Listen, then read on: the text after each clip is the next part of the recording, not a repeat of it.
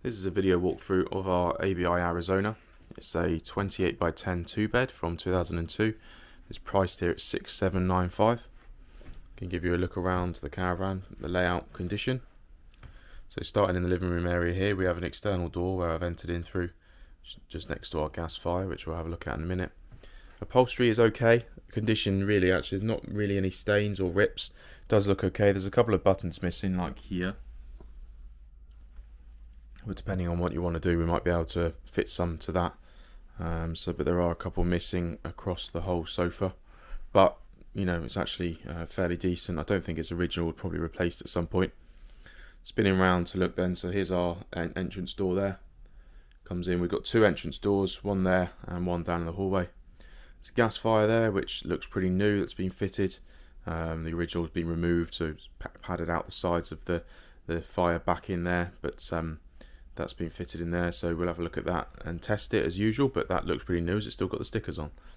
Um, you've got kitchen um, through just the side there gas oven so you start the kitchen doors are the same as your living area doors in here all a similar style.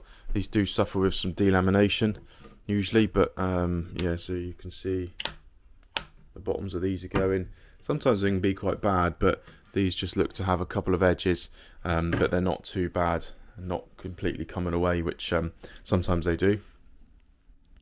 So, say kitchen area here, you've got your LPG oven, um, single oven there, and then you've got a lift up cover there, just covering your um, your gas hob. Got space there for a fridge, uh, kitchen tap which needs replacing, something we will do when when we test it all up. Then you've got cupboard doors in and around the sink and to the side. Stepping further down through the caravan you can find our other exterior door. Carpet's been replaced here in the hallway and the living area, so that's pretty fresh carpet. Um, we are planning on doing the bedrooms as well, so by the time, if you come to look at the caravan, the bedrooms might have been done as well. If you don't come to view the caravan, then just bear that in mind. That's something that we're doing. As you can see, it's got the original red ones, um, and it'll look much nicer once we've finished off the job and put the new bedroom carpets down. Mattress, uh, seen better days, needs to be replaced. We'll chuck a recovered one in here, not a problem.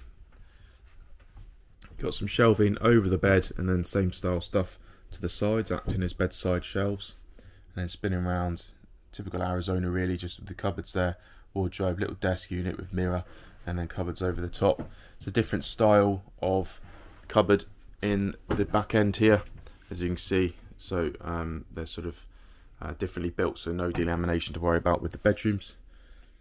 Turning around then, we've got back to our hallway, our twin room here to the side. Open that up and have a look. So we've got two single beds as usual, little wardrobe space here. It's not full length, it just goes to um, sort of three quarter length there, but it's enough space for hanging up something, a few pairs of jeans and a couple of t-shirts. Uh, bedside table there fit to the wall. Um, again, carpet, bear in mind. Um, there's no curtains in here. I'm not sure there are any. Um, so it depends whether somebody wants curtains or not in here, but that's something we can talk about. Stepping over then to our bathroom. Standard bathroom in a 10 foot wide, really. You just got your sink, your toilet, and then your shower enclosure.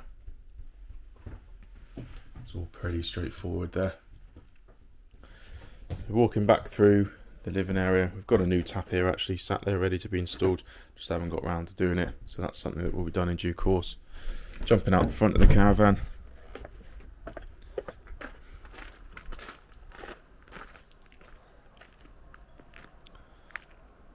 There's a little bit of um, an area where the panels just rusted a little bit, which we can probably just put a bit of car filler on and spray panel's fairly clean down the offside. Just a couple of marks like this one. But other than that it's fairly clean. Front looks okay other than that bit at the top that I just mentioned. And then down your door side a couple of extra little bumps here and there like this. Probably where your door's flung open and it's not the panel. This side's got a few marks actually. They're only they're only small but just pointing them out. Gas regulator on the rear needs a bit of a spray here where something's happened. Spray the panel a bit. Usually remove all the gas regulators so that the customer gets that done on site by a gas safe engineer. Try and keep everyone safe. An extra step of the process means that that's uh, means it most likely. Chassis is a standard painted chassis, which somebody has been um, oiling or painting over time. So, whilst there's some surface rust there, somebody treating it over time has probably kept that to a minimum. So, considering it's 20 years old, it's a decent enough chassis. So this is our ABI Arizona 28 by 10 two bed from 2002. It's priced at 6795. As I say, bear in mind, done a bit of carpeting in there, but we are planning on doing a bit more. If you've got any questions, just ask.